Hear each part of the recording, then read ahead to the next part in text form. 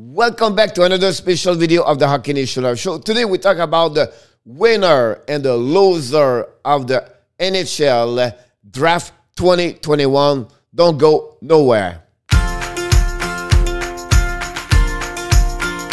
Welcome back. This is your hockey coach guru, Coach Frenchy, back in the booth today. Today we talk about the NHL Draft 2021. But before we start, we invite you, please don't forget to subscribe to the Hockey Nation Live Show on the Facebook page and the YouTube channel. And at the end of the video, please tell me your comments. Tell me what you think about my selection of the winner and the loser today. And if you like the video, please click on the like and I look forward to see you next video for you guys. So here we go. Let's dive in right there about the weekend of the NHL. You can see all the profile. We have there all the selection on the first round from Beniers to Power to Clarke to Edvinsson, Johnson, Hughes, Guenther, and McTavish. Just an amazing, great weekend for, for them, to be honest with you, to be a rookie and to get drafted, to hear their, their name at the first round.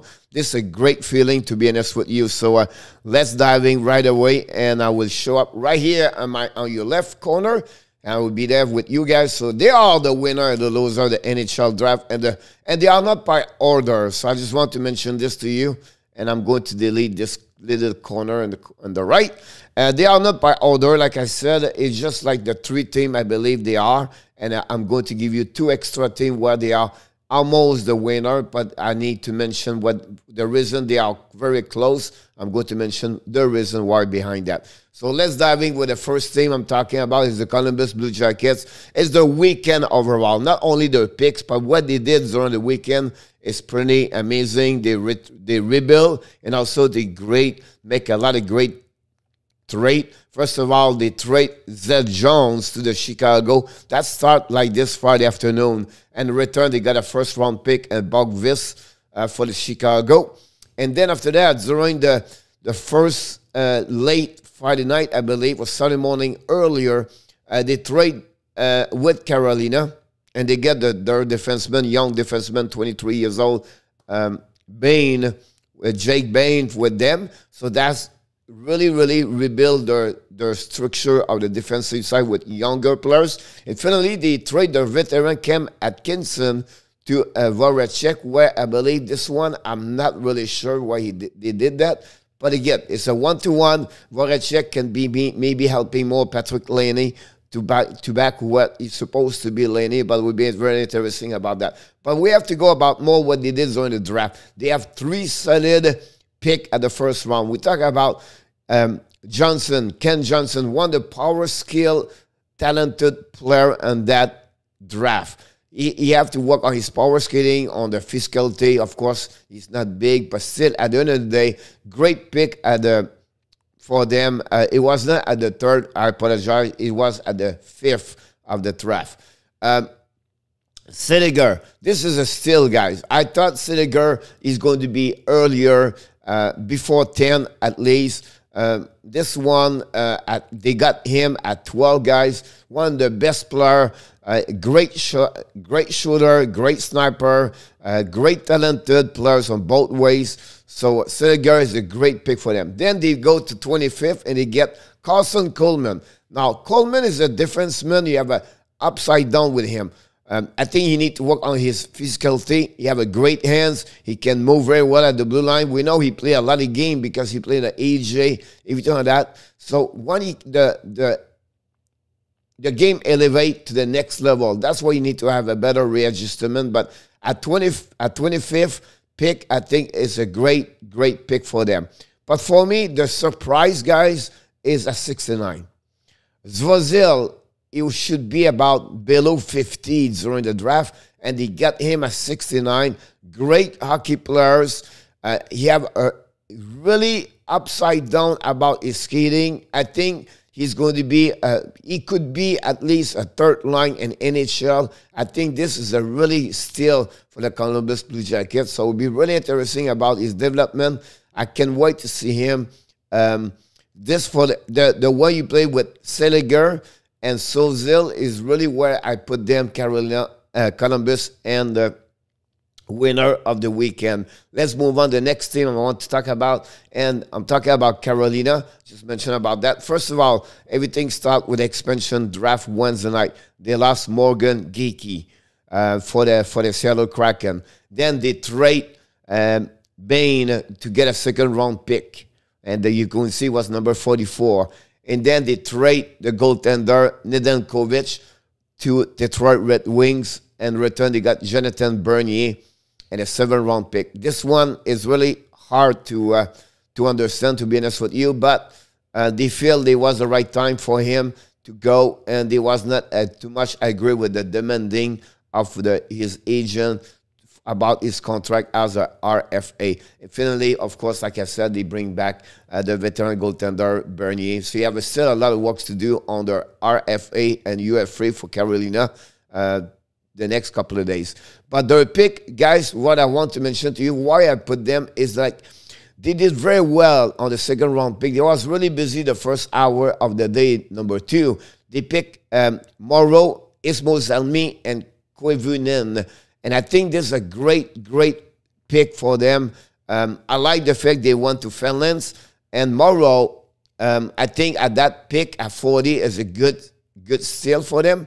And he have, like I said, he's a good hockey player uh, with Elmo me. So it would be really interesting, those three picks. Then they got also another one at 94. I'm not going too much about Blake or Robidas, but I want to mention uh, Reshchuk at 94. It could be someone surprise everybody on that pick over there. He could be uh, play about 200 game in NHL. I would not be surprised.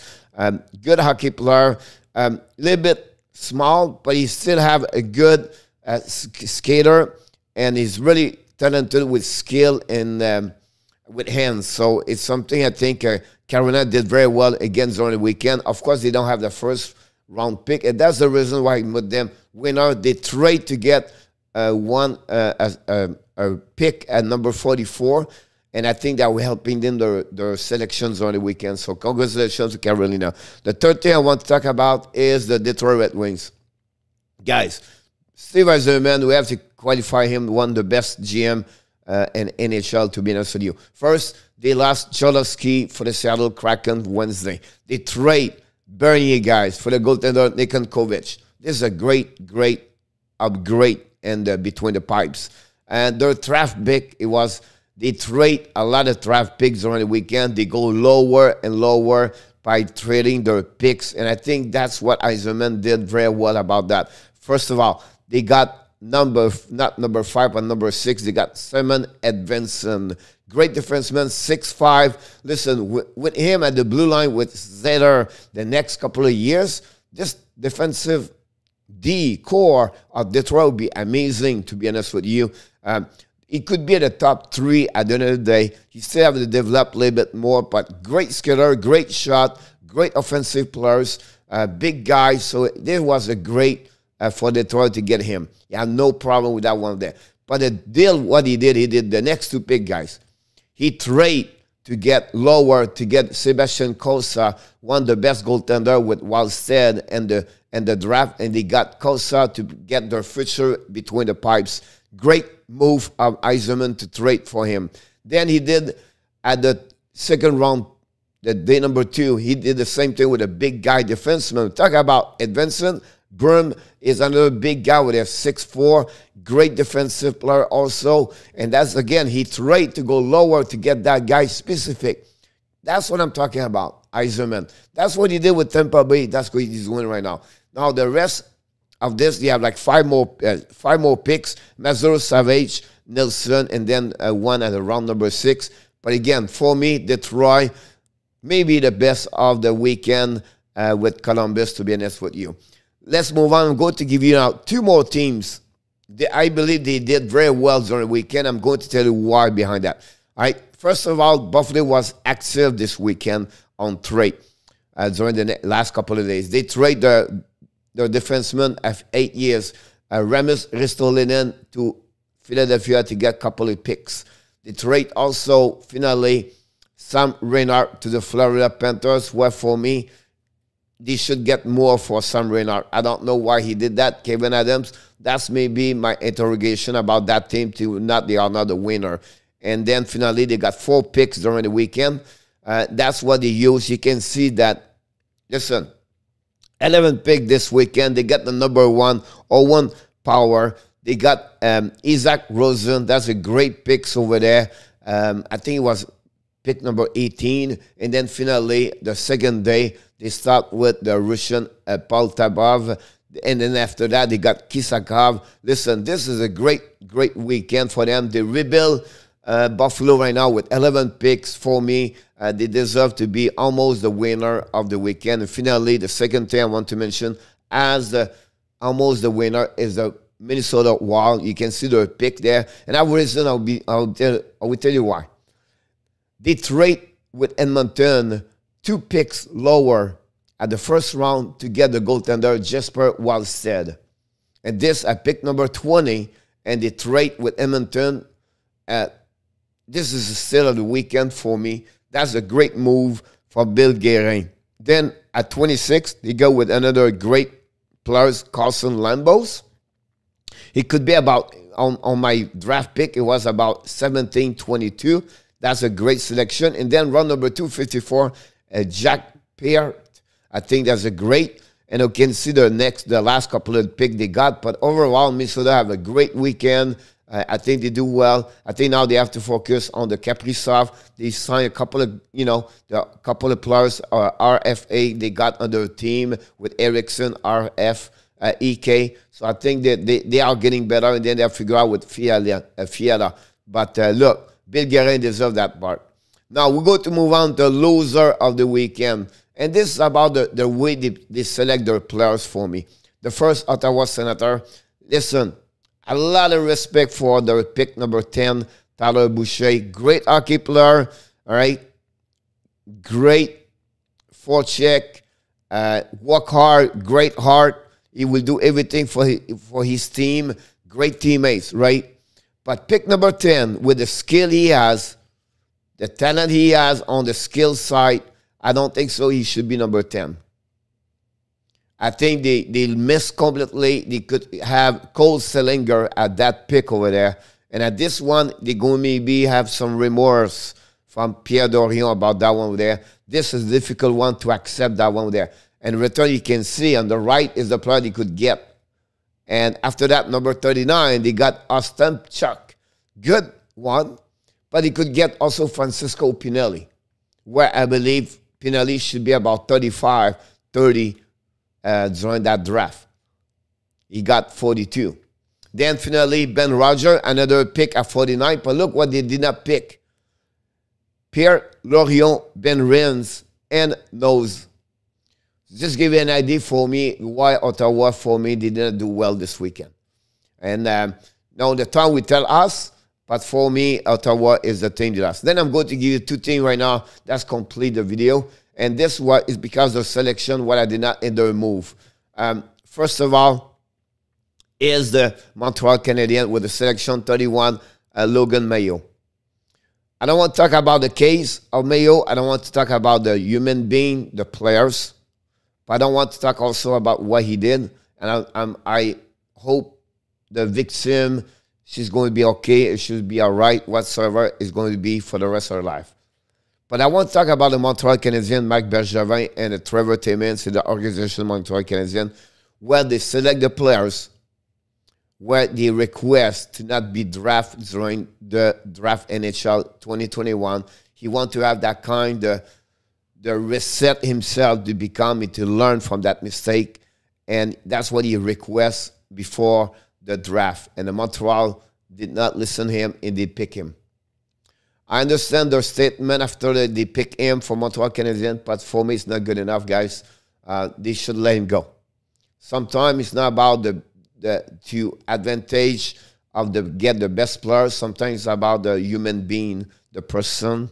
And for me, that's the most important thing. So for me, I have to put, I, I love the Montreal Canadiens. You know, I'm a big fan, but I'm realistic. I, I'm, I'm always honest. And for me, the, the, I'm very disappointed about the fact Montreal select Logan Mailloux. Finally, the Edmonton Oilers. This guys, Ken Holland. Wow, talk about a bad bad weeks at the shop. he have a bad weeks at the shop. First, he trade for Duncan Keith. He gave two assets for him, Caleb Jones and the picks, and the next day he could get Ryan Suter for nothing. Then he did not resign Adam Larsson, lost to the Kraken. And finally, he had a chance to make maybe for the next 10 years, maybe the future of the goaltender between the pipes to, to, to pick Jesper Wallstedt. What he did, he traded his pick to Minnesota to get an extra pick later and let it go while, while thread. Now he picked Bourgault from Shawinigan. I have no problem with the kids they're from Shawinigan, Bourgault, good hockey player. But don't tell me what the Edmonton don't they need a goaltender. They just signed a veteran Mike Smith at 41 years old for 2.2 million dollars. I, I don't get it, guys. I really don't get Ken Holland right now. Talk about the best GM Yzerman won this week, for being honest with you. Ken Holland was one the really the struggle a lot to, on my on my eyes, to be honest with you. So um, this con- conclude, guys, the my winner and the loser of the weekend NHL Draft 2021. Uh, please give me your comments about the video. Tell me what you think about what I said today. And I'm looking forward to see you next time. But before we leave, of course, we have to remind you, you have greatness inside of you. Have an amazing, great day, everybody. Bonne journée, mes amis. On se reparle un peu plus tard pour un autre vidéo of the Hockey Nation live show.